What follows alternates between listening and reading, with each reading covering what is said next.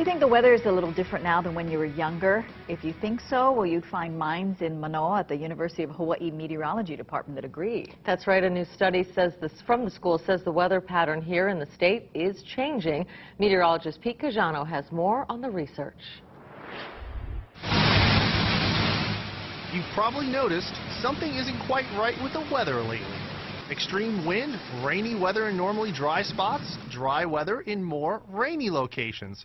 A new study from the University of Hawaii says that things have been changing, but not just this year.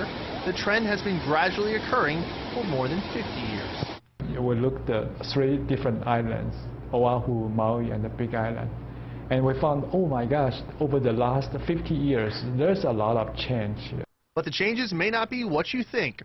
While the windward side of the Big Island is experiencing a moderate drought, and it's been rainy recently on Oahu, the study by Hawaii State climatologist Pao-Shin Chu shows over the past 50 years, the opposite has been true.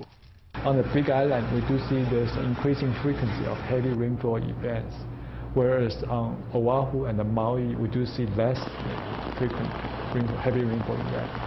Large-scale rainstorms with 12 inches of rain used to happen every 20 years. Now it's more like every three to five.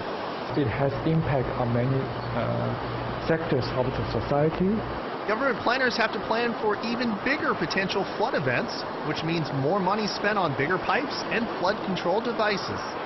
Increased precipitation can even affect Big Island commutes. It's every driver's nemesis. More rain equals, you got it, more potholes.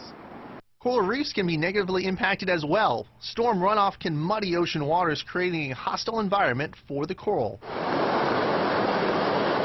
The cause of this changing weather pattern is unknown, but the suspicion is some combination of natural and human impacts. In the future, one will be able to separate which part is due to natural variability, which part is due to this climate change induced by human activity.